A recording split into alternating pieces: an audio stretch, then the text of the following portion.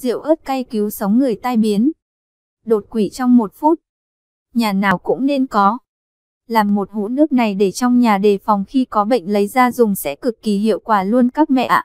Đừng coi thường nhé. Bài thuốc đơn giản như có thể cứu sống chúng ta trong cơn nguy kịch. Bệnh tim mạch.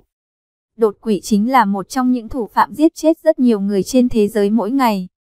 Tuy nhiên, nếu biết cân bằng chế độ ăn uống và lối sống lành mạnh thì có thể ngăn ngừa được bệnh. Nhưng trong một số tình huống cấp bách thì nếu không có cách điều trị hợp lý sẽ dẫn đến tử vong bất cứ lúc nào. Và những lúc như thế chúng ta sẽ cần đến loại ớt cay kỳ diệu có thể cứu sống người bị đột quỵ trong tích tắc. Đây là kết quả nghiên cứu của tiến sĩ Kizon về khả năng ớt có thể kích hoạt tế bào thần kinh cảm giác ở da. Từ đó gửi tín hiệu đến hệ thần kinh trung ương. Tạo ra con đường sống, tác động đến tim. Không những vậy, điều đáng ngạc nhiên là ớt làm giảm tỷ lệ chết của tế bào tim đến 85% và hoạt động giống như một thiết bị bảo vệ tim mạch từ bên ngoài. Để cứu sống bệnh nhân nếu được áp dụng và điều trị đúng liều lượng. Và dưới đây là công thức làm nên hỗn hợp rượu ớt có thể cứu sống người bệnh tim và đột quỵ chỉ trong vòng 1 phút.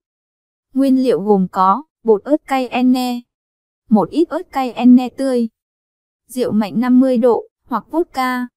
Một bình thủy tinh cùng một đôi găng tay. Cách thức thực hiện.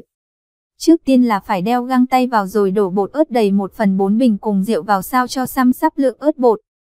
Thế nhưng việc cho bột ớt vào bình sẽ được tiến hành vào ngày trăng non đầu tiên, tức ngày đầu tháng âm lịch, các mẹ nhé. Tiếp đến là băm nhỏ ớt tươi và hòa đều với rượu ở bên ngoài. Sau đó đổ chung vào cho đầy 3 phần 4 bình thủy tinh. Đổ tiếp rượu vào đầy bình và lắc đều. Mỗi ngày chúng ta sẽ tiến hành lắc bình vài lần và duy trì hoạt động này cho đến ngày rằm tháng sau, tức một tháng dưới sau. Đổ hỗn hợp sang một bình khác tối màu và giữ ở nơi khô thoáng. Không có ánh sáng. Liều lượng sử dụng thuốc sẽ tùy thuộc vào từng tình trạng bệnh khác nhau. Trường hợp bệnh nhân vẫn tỉnh táo và còn thở, hòa một thìa cà phê ớt bột cay enne với nước ấm và cho bệnh nhân uống. Trường hợp bệnh nhân mất kiểm soát, bất tỉnh, lúc này bệnh có triệu chứng nặng hơn nên chúng ta sẽ dùng đến hỗn hợp mà mình đã chuẩn bị. Lấy 5 đến 10 giọt hỗn hợp bột ớt vào dưới lưỡi của người bệnh. 5 phút sau nhỏ thêm 5 đến 10 giọt nữa. Lặp lại quy trình này cho đến khi triệu chứng của bệnh nhân thuyên giảm hẳn.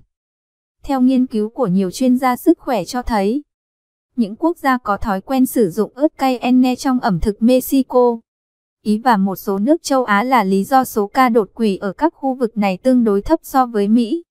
Ngoài ra ớt còn giúp thuyên giảm các chứng bệnh sau vô cùng hiệu quả là cục máu đông. Ớt rất hiệu quả trong việc phòng ngừa và làm tan cục máu đông. Sơ vữa động mạch hay sơ cứng động mạch, ớt làm mềm thành mạch. Mở rộng các mạch máu. Tăng sức mạnh cho tim. Và làm sạch bên trong thành mạch của hệ tuần hoàn. Suy tim sung huyết, ớt giúp tim được thư giãn và khỏe mạnh mở rộng các mạch máu, dọn sạch những chất bẩn. Về lâu dài căn bệnh tim trầm trọng có thể hồi phục lại gần như bình thường với việc đều đặn dùng ớt. Triglyceride cao, ớt giúp giảm lượng triglyceride là chất béo trung tính tổng hợp từ các carbohydrate và được lưu trữ trong các tế bào mỡ. Loạn nhịp tim, ớt giúp giảm nhịp tim đập nhanh. Tăng cường máu đến tim. Ngăn ngừa máu đóng canxium. Gia tăng chức năng não bộ. Một trong những công dụng cực kỳ hiệu quả của ớt là giúp gia tăng lưu thông máu đến vùng đầu và não. Hiệu nghiệm trong việc chống lại chứng đau nhức nửa đầu và nhức đầu trùng theo tiến sĩ Zitofer cho biết trong suốt 35 năm làm nghề của mình chưa có bất kỳ bệnh nhân nào của ông tử vong vì bệnh tim. Đó chính là nhờ vào ly rượu ớt kỳ diệu của ông. Chỉ sau một phút uống thuốc này bệnh nhân sẽ trở về trạng thái an toàn. Vì thế đây không chỉ là kết quả của nghiên cứu trong phòng thí nghiệm mà còn là trải nghiệm thực tế của chính bác sĩ. Bài thuốc này đơn khá đơn giản, dễ làm nhưng có công dụng cực kỳ hiệu quả đối với bệnh tim mạch và đột quỵ nên các mẹ có thể làm để dành sử dụng khi cần. Tuy nhiên, tuy nhiên, vị độ cay trong ớt rất mạnh nên trước khi sử dụng thì cần hỏi qua ý kiến bác sĩ cho an toàn nhé.